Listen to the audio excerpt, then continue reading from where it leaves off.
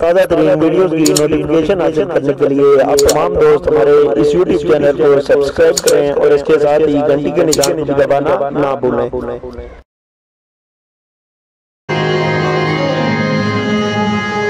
कितने खुश किस्मत तेरी आँख से सीने वाले